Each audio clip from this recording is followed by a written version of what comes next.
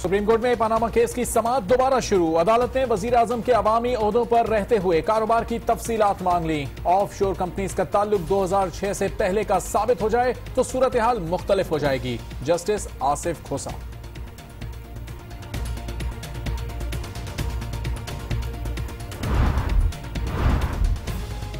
Panama case की समात रोज़ाना की बुनियाद पर होगी देखना होगा कि कतरी खानदान और शरीफ फैमिली के मामला किस फोरम पर तय हुए। 12 मिलियन दिरहम की रकम दो दहाइयों तक कहाँ रही? शरीफ खानदान को दुबई फैक्ट्री का जवाब भी देना होगा। जजिस के रिमार्क्स।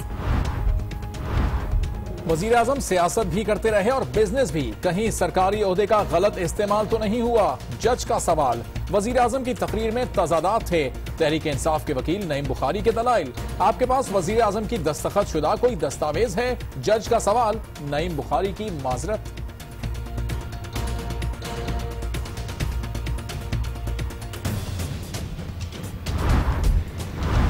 हमने अदालत से ये दरख्वास्त की है कि वज़ीर आज़म साहब को डिस्कालीफाई किया जाए।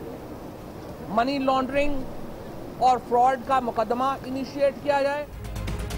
नए सबूत जमा कराने के बाद तहरीक इंसाफ को हालात भी बदलते नज़र आने लगे। नून लीग को वकील नहीं कयादत बदलने का मशवरा। शेख रशीद ने मुल्क में निगरान हुकूमत और इलेक्शन का मुतालबा कर दिया। गैर मुसद्दका दस्तावेज़ और रद्दी में कोई फ़र्क नहीं। खान साहब सबूत लेकर आए मुसद्दका डॉक्यूमेंट्स लेकर आए ये कहानियाँ ना सुनाएँ। नून लीग ने तहरीक इंसाफ के सबूतों को रद्दी करार दे दिया। मीडिया पर फतह का निशान बनाने वाले अदालत में नज़रें झुका लेते हैं मुखालफी पर तनकीद।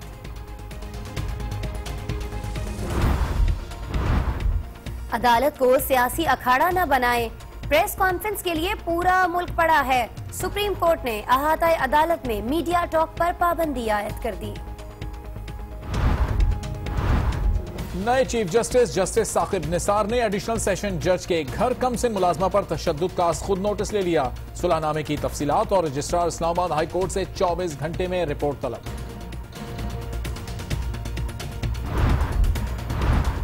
कम कमसिन बच्ची से जबरी मुशक्कत जुर्म है जिस पर सख्त पकड़ रियासत की ज़िम्मेदारी है। आईनी और कानूनी माहरीन का मौकफ दस साल की बच्ची से अगर घरेलू मुशक्कत ली जा रही है और चाइल्ड लेबर की अगर दफ़ा लगाई जाती है तो वो नॉन कंपाउंडेबल है उसमें राजीनामा ही नहीं हो सकता। कानून जो है वो ठीक है राजीनामे की बात करता है ये एक इस्लामी शिक भी है लेकिन वो हमेशा बराबरी की बुनियाद पर होता है। जज के अहले खाना ने जालिमाना रवैया इख्तियार किया। हुकूमत ने क्या इकदाम किए? सेनेटर सहर कामरान ने तवज्जो दिलाओ नोटिस जमा करा दिया। माशरती और समाजी बेहिसी के सामने इंसानियत भी शर्मिंदा। फैसलाबाद में नौमौलूद को सख्त सर्दी में सड़क पर फेंक दिया गया। आवारा कुत्तों ने बुरी तरह नोच खाया। बच्चा तशवीशनाक हालत में अस्पताल मुंतकिल। शाम से म्यांमार तक नन्हे फरिश्तों के कत्ल की कहानी की एक तस्वीर नहीं आ गई। ऐलान कुर्दी के बाद म्यांमार का रोहंगिया बच्चा सोहयात भी जान बचाने की कोशिश में जान से गया। आलमी जमीर अब भी खामोश। तुर्की में एक बार छह पाकिस्तानियों को बाजियाब करा लिया गया। तुर्क हुकाम ने पाकिस्तानी कौंसल खाने को आगाह कर दिया। तर्जुमान पाकिस्तान दफ्तर खारजा का कहना है, सिफारती हुकाम ने बाजियाब अफराद से मुलाकात की इजाज़त मांग।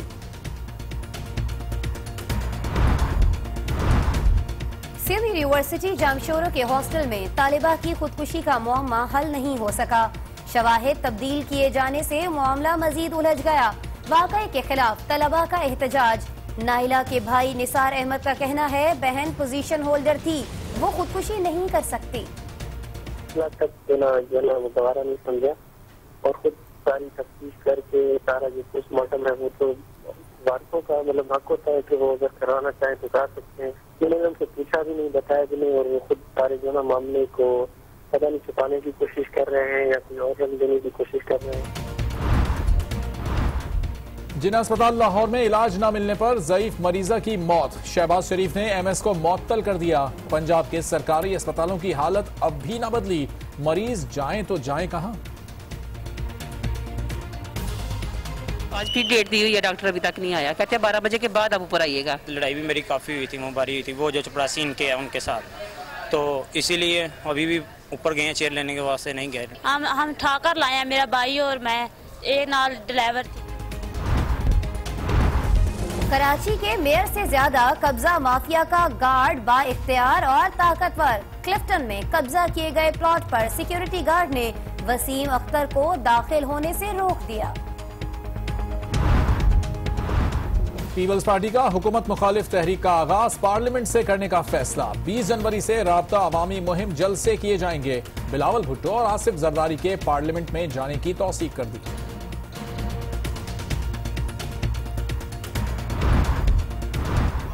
मैनेजमेंट लगाई हुई है ये जो मिनिस्ट्री बोल रही है ये फेल होंगे ये नहीं कर सकेंगे। मुझे साढ़े तीन साल में तीन साल में मुझे एक हायरिंग बता दे। हमें लाकर वहाँ पे खड़ा कर दिया गया है या सारी कौम कहेगी जी खुदा दा वास्ता मुफ़्त भी कोई ले जाता है तो ले जाओ। पाकिस्तान स्टील मिल्स की निजकारी के मामले पर असद उमर और मोहम्मद जुबैर में तल्ख कलामी। हुसैन नवाज़ को चेयरमैन लगा दें। वो स्टील मिल्स का कारोबार बेहतर जानते हैं। असद उमर का तंजिया मशवरा। आप सियासी बात कर रहे हैं। मोहम्मद जुबैर का जवाब। कराची में गुजशत साल के मुकाबले में 2016 में जराइम में 24 फ़ीसद इजाफा, बाईस हज़ार तीन सौ अट्ठावन अफराद मोटरसाइकिलों से महरूम, मोबाइल फ़ोन छीनने की उन्नीस हज़ार से ज़्यादा वारदातें हुई। सी पी एल सी ने रिपोर्ट जारी कर दी।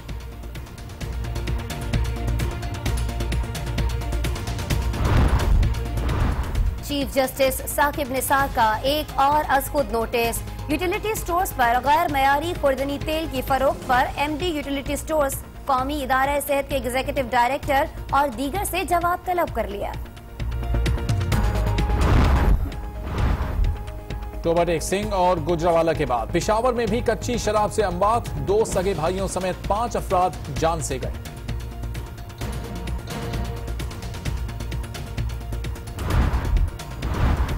कोयटा के इलाके कली शाबू में नामालूम अफराद की गाड़ी पर फायरिंग। पुलिस इंस्पेक्टर हबीबुल्लाह समेत दो अफराद जाँ बहक। क्लासिकी मौसीकी की एक और आवाज़ हमेशा के लिए खामोश। उस्ताद फतेह अली खान अलालत के बाईस इस्लामाबाद में इंतकाल कर गए।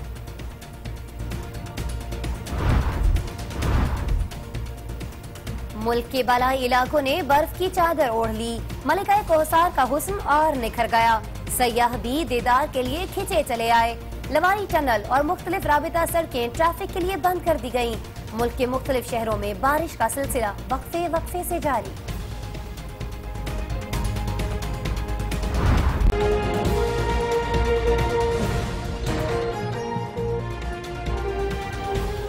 अस्सलाम वालेकुम नाजरीन। आज नौ बजे के साथ मैं हूँ आसमा इकबाल। और मैं हूँ अरबाब जहांगीर। हेडलाइंस आपने जानी बुलेटिन का आगाज़ करेंगे और बड़ी खबर शामिल करेंगे। सुप्रीम कोर्ट ने पैनामा केस की रोज़ाना समाप्त करने का फैसला सुना दिया है। साथ ही वज़ीर आज़म के अवामी ओहदों पर रहते हुए कारोबार की तफसीलात भी तलब कर ली गई हैं। जस्टिस आसिफ खोसा कहते हैं की शरीफ खानदान के लंदन फ्लैट की मिल्कियत 2006 से पहले की साबित हो गई तो सूरत हाल मुख्तलिफ़ हो जाएगी। सुप्रीम कोर्ट के नए पाँच रुकनी बेंच ने जस्टिस आसिफ सईद खोसा की सरबराही में पनामा केस की समात की। मुकदमे के एक फरीक वकील तारिक असद ने कमीशन बनाने की दरखास्त की। अदालत ने कहा कि अब इस केस में इल्तवा नहीं मिलेगा और समात रोज़ाना की बुनियाद पर होगी। अदालत ने तहरीक इंसाफ के वकील नईम बुखारी को मुकदमे से मुतलक मीडिया पर बयानबाजी से गुरेज करने की हिदायत की। नईम बुखारी ने वज़ीर आज़म को नाअहल करार देने और लंदन में तैतीस मिलियन डॉलर की अदायगी होने पर वज़ीर अला शहबाज शरीफ को तलब करने की दरखास्त भी की। जस्टिस आसिफ सईद खोसा ने कहा कि मुख्तलिफ़ मौकफ सामने आए हैं।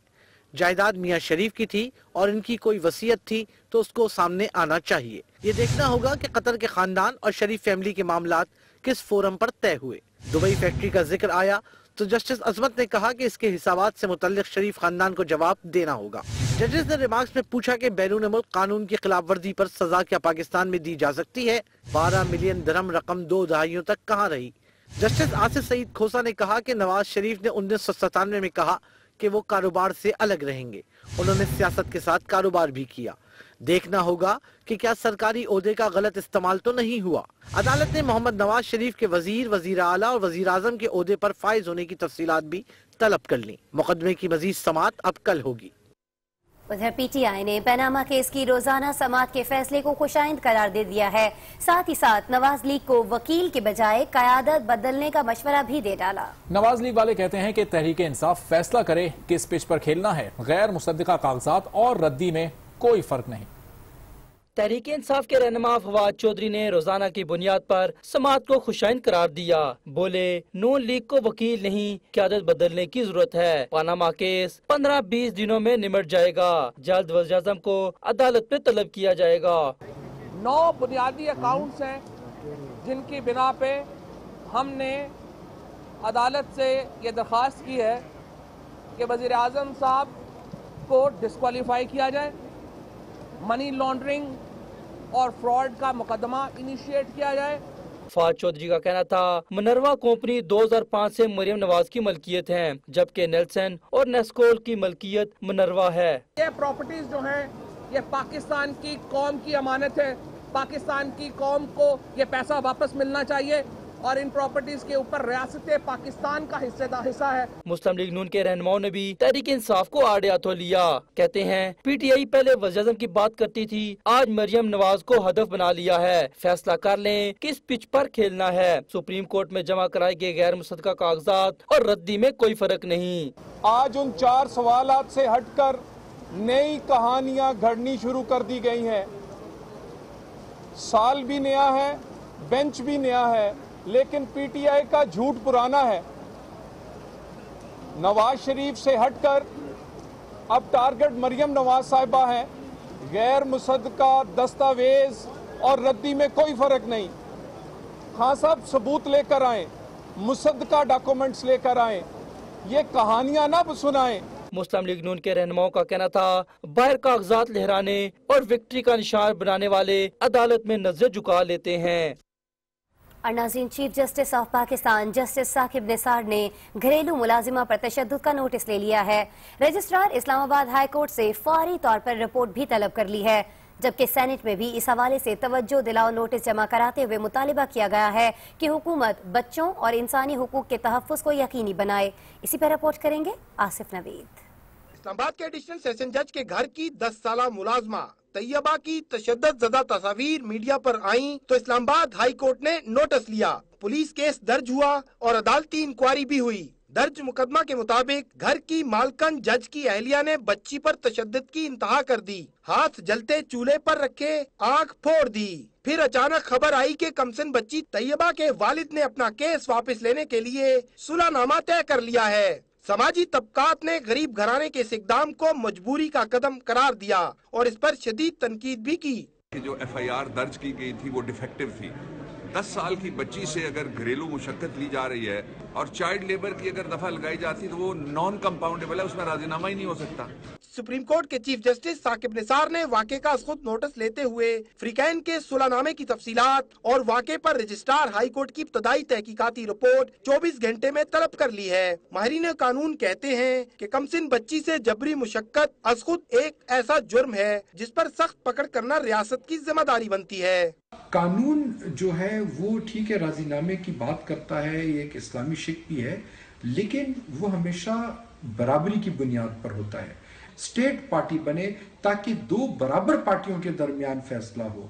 दूसरी जानब सेनेटर सहर कामरान ने सेनेट में तवज्जो दिलाओ नोटिस जमा कराते हुए कहा कि जज के अहले खाना ने जालमाना रवैया इख्तियार किया। हुकूमत ने इस हवाले से क्या इकदाम उठाए? ऐवान को आगाह किया जाए। बच्ची के तिब्बी मुआयने के लिए दोबारा मेडिकल बोर्ड भी तश्कील दे दिया गया है। सुप्रीम कोर्ट ने अवामी अहमियत के एक और मामले पर भी अस्कुत नोटिस लिया है, जो कि यूटिलिटी स्टोर्स पर गैर मैारी खुर्दनी तेल की फरोख से मुतलिक है। अदालत ने मुतलका महकमों के सरबराहान को भी तलब कर लिया है। आसिफ नवीद, आज न्यूज़ इस्लामाबाद। फैसलाबाद में एक अफसोसनाक वाकया पेश आया, जहाँ नामालूम अफराद नौ मौलूद को सड़क किनारे तनहा छोड़कर फरार हो गए। बच्चे को आवारा कुत्तों ने हमला करके जख्मी कर दिया। पुलिस ने तशवीशनाक हालत में अस्पताल मुंतकिल किया। फैसलाबाद में पेश आया ऐसा वाक्य कि जिससे इंसानियत भी शर्मा जाए। हमजा टाउन में तीन दिन के नौ मौलूद को नामालूम वालदेन पिंडी भटिया रोड पर तने तनहा छोड़कर फरार हो गए। सड़क किनारे पड़े तने तनहा नौ मौलूद पर आवारा कुत्तों ने हमला करके ऐसे जख्मी किया तो इंसानियत भी लर्ज उठी। ऐसे में खुदा ने बेयारो मददगार नन्हे फरिश्ते की फरियाद सुनी और पुलिस की नज़र नौ मौलूद पर पड़ गई। पुलिस ने बच्चे को तश्वीशनाक हालत में अलाइड अस्पताल मुंतकिल कर दिया, जहाँ उसकी हालत खतरे से बाहर बताई जाती है। ताहम पुलिस की जानब से वाक़े की तहकीकात की जा रही हैं।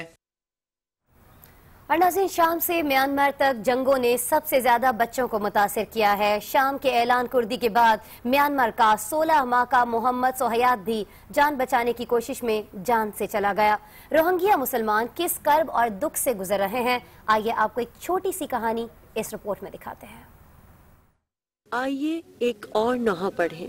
एक और अफसरदा कहानी सुने। ये नोहा, ये कहानी रोहिंग्या के 16 माह के मोहम्मद सोहयात की है, जिसके वालदेन म्यांमार से बांग्लादेश पनाह के लिए जा रहे थे। किस्मत ने यावरी ना की और मोहम्मद सोहयात दरिया में जा गिरा। दरिया का दिल नहीं होता, लेकिन उसमें भी इतनी ताब नहीं थी कि नन्हे मोहम्मद सोहयात को खुद में समो लेता बहुत प्यार से मोहम्मद सोहयात को साहिल तक ले आया। लहरें उसे यूँ रखकर चली गईं, जैसे सोहयात खेलते खेलते सो गया है। सो ही तो गया है, लेकिन अब फरिश्तों की बाहें उसका मस्कन है। सोहयात के वालिद ज़फ़र आलम का कहना है कि ज़िंदगी बोझ बन गई है। काश मैं भी मोहम्मद के साथ ही मर जाता। इस दुनिया में अब मेरे लिए कुछ नहीं बचा। मुझे भी मौत आ जानी चाहिए। शाम का शहीद ऐलान कर दी हो या बम हमले में जख्मी ओमरान दखनेश, या फिर म्यांमार का शहीद मोहम्मद सोहयात। रू अलग अलग है, लेकिन कहानी एक ही है, अलमिया एक ही है। नौहा भी वही है और सुनने वाले भी वही हैं। बेहिस, बेजमीर।